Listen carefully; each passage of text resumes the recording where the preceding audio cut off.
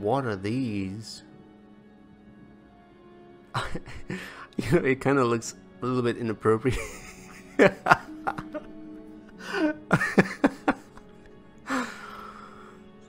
I guess they're just happy to see us.